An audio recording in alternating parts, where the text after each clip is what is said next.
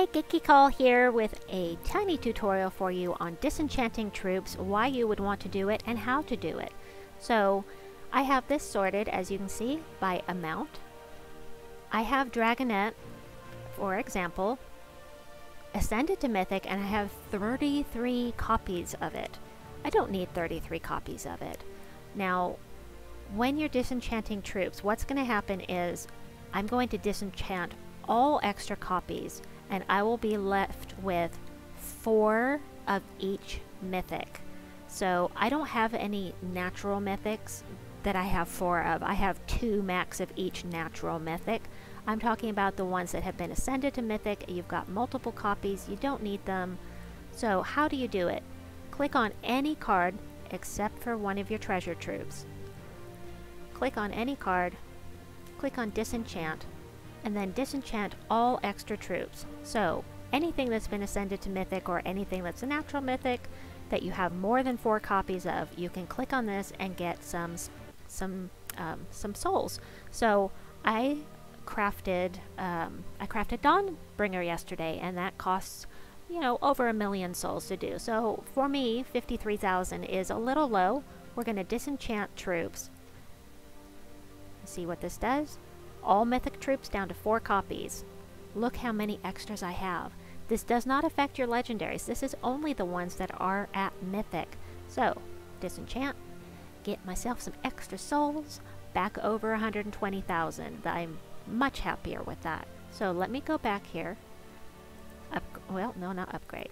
So I can't disenchant more than that. But now look, Dragonette is now down to four copies you don't want to go below four copies on your Guild Guardians. Let me show you the Guild Guardians, and I'll explain why. I explained this in another um, another video, but let me do that again. You can disenchant individual copies, and you can disenchant them to where you only have one copy. And that's fine, you can do that, but never do that with your Guild Guardians, and here's why.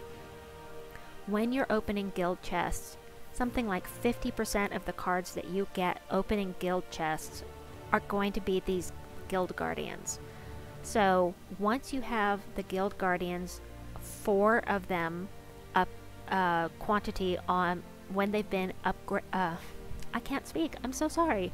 Once they've been ascended to mythic, when you have four copies of them, you will no longer get those drops from your guild chest. That means when you're opening guild chests, you're getting more of the cards that you really want to get. So having four copies of, of each of these, you definitely want to do.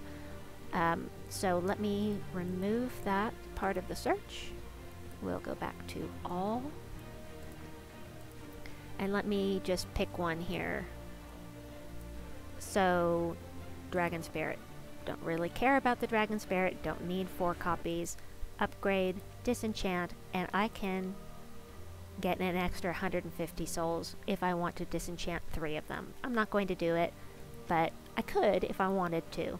Um, this is something that makes it really nice once you get to the point where you're getting lots and lots of gold keys and you're getting lots of these troops and you don't don't need them you can at least disenchant them and get some extra souls out of it now these treasure troops I don't recommend ever ascending them, and I don't recommend ever disenchanting them, although I have disenchanted the gold rings before.